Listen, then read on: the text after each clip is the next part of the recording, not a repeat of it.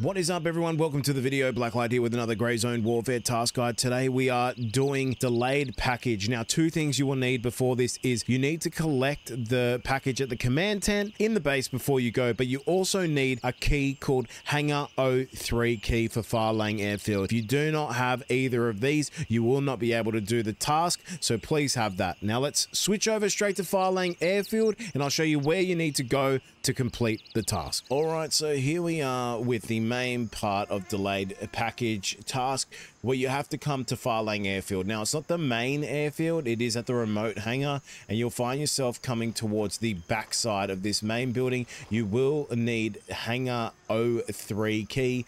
This will provide you to open this door here, which you can see here as PLA 03. And then all you have to do is simply come to the front of the plane, crouch right down and go in as far as you can, and then place the box uh, on the landing gear here under the plane. And then your task is done. Thank you very much for watching the video. Once again, like, subscribe, and comment for the algorithm.